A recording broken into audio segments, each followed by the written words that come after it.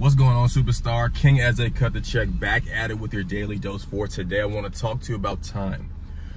Time in the sense of things I must experience. See, a lot of people, they tend to rush time. A lot of people, they tend to lack patience when they're ready to get to the next level, when they're ready to get what it is God has called for them to have. But what you have to understand is if you haven't received the blessing yet, if the miracle hasn't taken place yet, there's still certain things in your life, certain life's experiences that you have to go through and grow through in order to get to the next level. So on today, I want you to begin to look at time from a different viewpoint. I want you to get excited when things begin to take time because God wants you to move on his time and not on your time. And while you're in the motion, while you're in uh, uh your process. You want to make sure that you're operating from a place of happy and grateful. You also want to make sure that you're operating from a place of expectation,